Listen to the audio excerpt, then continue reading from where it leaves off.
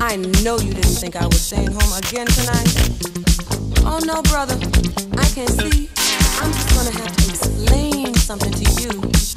Oh, it's not like that anymore. Don't you understand that? Don't you realize it yet?